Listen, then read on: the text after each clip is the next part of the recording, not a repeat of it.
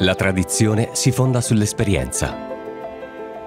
In Salus i tesori della conoscenza hanno un futuro. Si trasformano in innovazioni, collegando il passato con il presente. Salus. Salute dalla natura.